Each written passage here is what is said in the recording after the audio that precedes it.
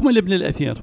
فلما توفي الظاهر وولي الأمر شهاب الدين طغرل أبعدهما وغيرهما ممن يفعل مثل فعلهما وسد هذا الباب على فاعله ولم يطرق إليه أحدا من أهله. أقول إذن الأمر بيد الظاهر.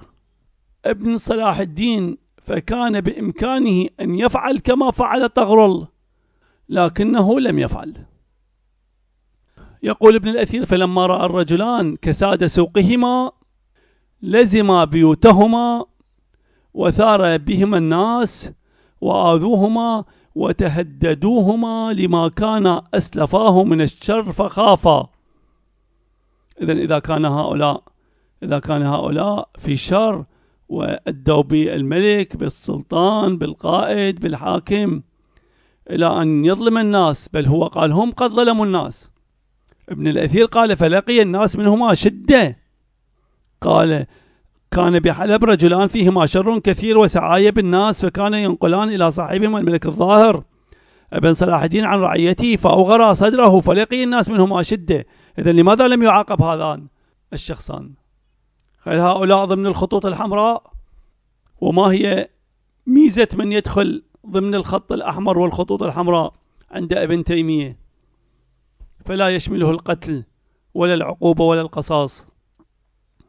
يقول فلما رأى الرجلان كساد سوقهما لزما بيوتهما وثار بهما الناس وآذوهما وتهددوهما لما كان أسلفاه من الشر فخافا ففارقا حلب وقصد كيكاووس السلجوقي فأطمعاه فيها.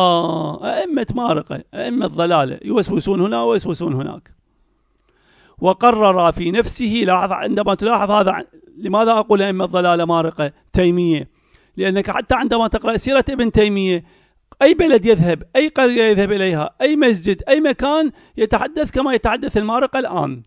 قتل وقتال وسفك دماء وشيعة ورافضة وصوفية وخوارج وكهنة وارتداد ويهود ونصارى وما إلى هذه العناوين. فيتحدث عن قتل وسفك دماء وغزو وحرب لتبرير جريمة الحاكم وجرائم السلطان وفساد السلاطين. هذا هو عملهم كما هو الآن. القذة بالقذة لا يوجد فرق. هذا هو المنهج.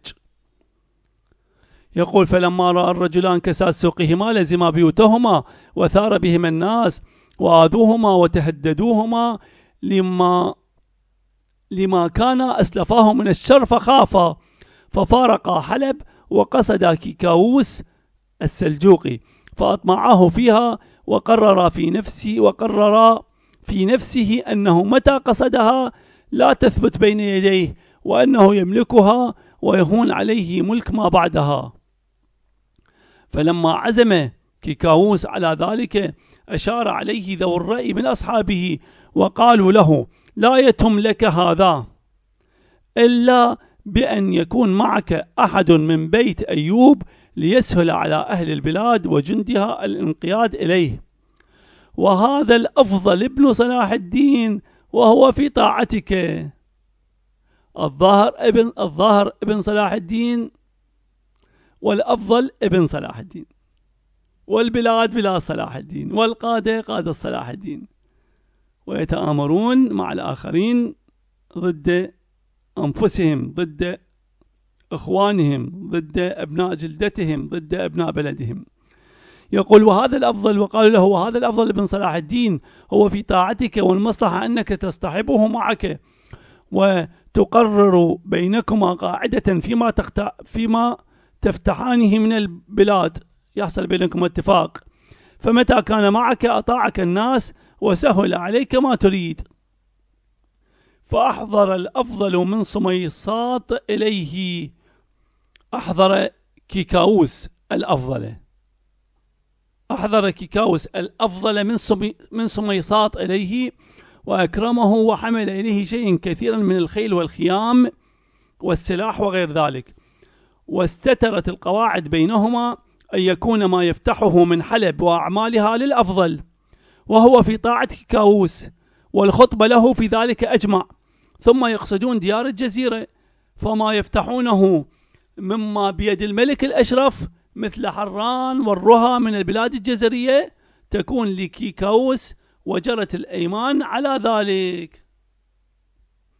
وجمعوا العساكر وساروا فملكوا قلعة رعبان فتسلمها الأفضل فمال الناس حينئذ إليهما. ثم سار إلى قلعة تل باشر وفيها صاحبها ولد بدر الدين دلدرم الياروقي فحصروه وضيقوا عليه وملكوه منه ملكوا تل باشر منه.